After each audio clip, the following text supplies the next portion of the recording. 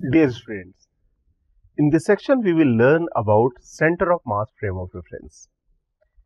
It is often more convenient to analyze a problem from center of mass frame of reference rather ground frame of reference because the math involved in the problem gets simplified if we analyze the problem from center of mass frame of reference. Let us learn how this simplification occurs. Let us take a system of n particles moving randomly that is n particles are moving in the different direction with the different velocities.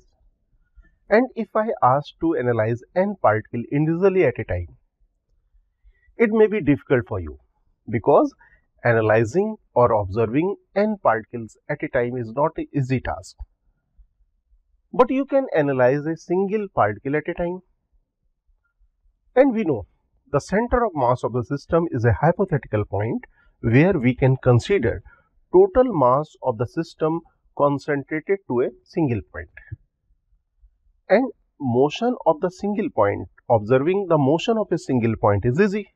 So, the motion of the center of mass can be observed easily. Now, we can say it is easy to analyze motion of the center of mass in comparison to the n particles of the system. Let us discuss about frame of reference. We know frame of reference is a set of the coordinate axes where observer locate himself at the origin of the system. So, here we can say a frame of reference with origin at the center of mass of the system is called the center of mass frame of reference. So, we defined here the center of mass frame of reference. Now, let us ask very simple question. If I ask you what is the velocity of the center of mass in center of mass frame of reference? It is 0 of course because it is the question same as suppose you are driving in a car and I ask you what is the velocity of u with respect to car?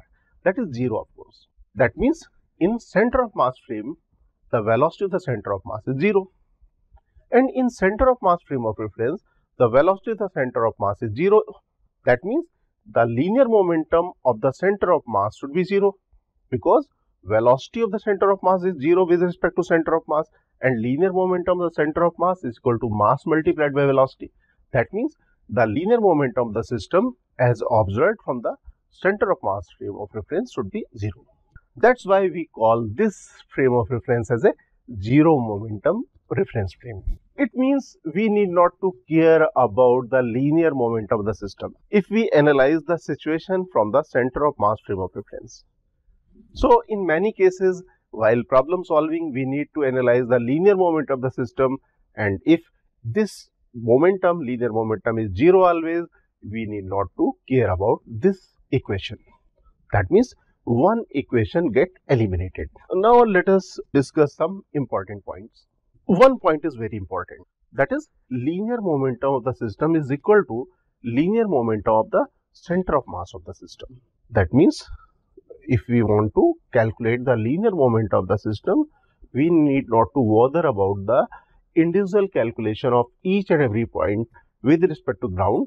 If we know the velocity of the center of mass, we can simply calculate the linear moment of the system as mass of the system multiplied by velocity of the center of mass. Now, let us discuss one more point that is very important point that is that neither internal forces nor external forces can change the linear moment of the system relative to center of mass.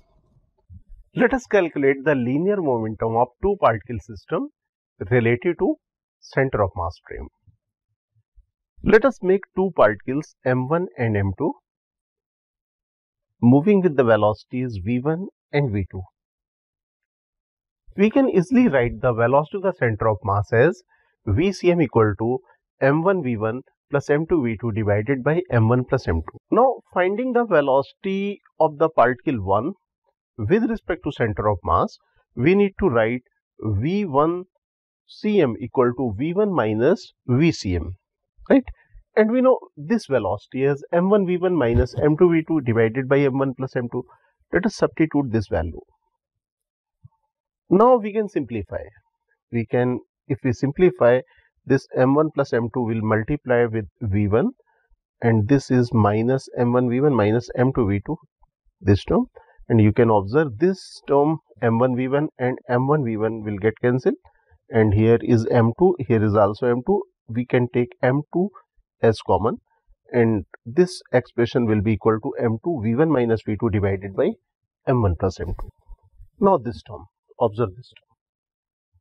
This is v12 that is the velocity of 1 with respect to 2 let us make this equation as equation number 1 the linear momentum of m1 with respect to center of mass we can write here p1 cm equal to m1 multiplied by velocity of 1 with respect to cm and we calculated this term.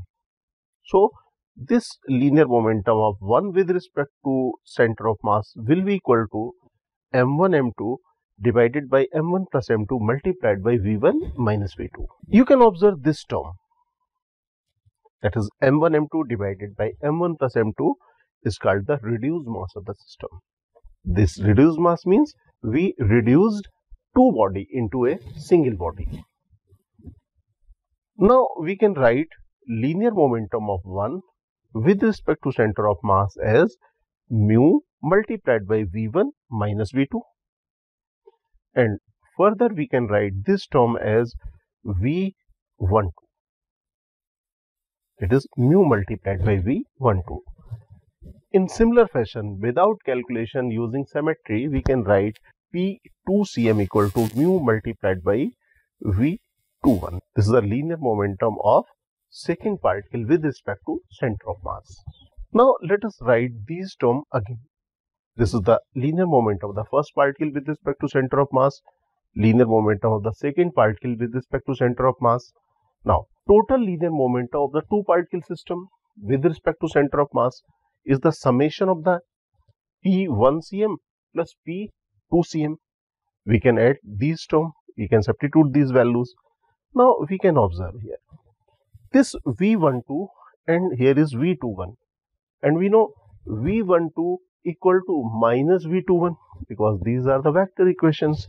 So we can write here V12 equal to minus V21 that is magnitude wise these two values are equal but direction wise they are opposite. So if we substitute these values in this equation we will get P system with respect to Cm equal to 0.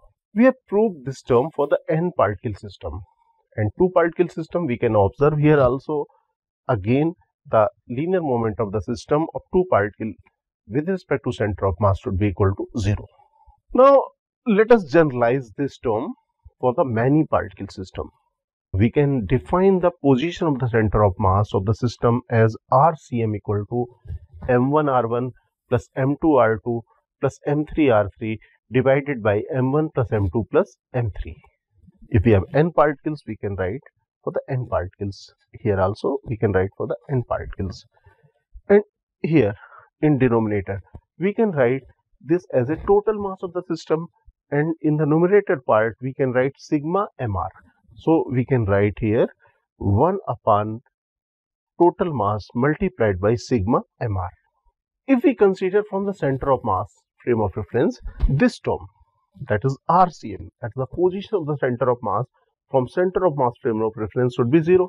So this RCM equal to 0. Now we can substitute this value as 0 here and here we need to replace this RI with the term Ri with respect to center of mass. Now we can rearrange this equation and we can get that is sigma mi ric equal to 0. Now if we differentiate this equation with respect to time, we will get the velocity term. So inside the sigma term, we will have the mi multiplied by vic equal to 0. And if we further differentiate, we will get the term acceleration in place of velocity. Now let us write these terms again that is sigma mr, sigma mv and sigma ma. Okay. Now this term is called the moment of masses and this term is called the linear momentum that is the moment of velocity and this term is called the product of the mass and acceleration of the particle that is the summation of the internal forces. Remember we have calculated all these quantities with respect to center of mass. Dear aspirants, Cengage India has launched the new edition of our JEE Advanced Physics books. Please visit www.cengage.co.in to buy a copy. You can also buy the books from Amazon or Flipkart.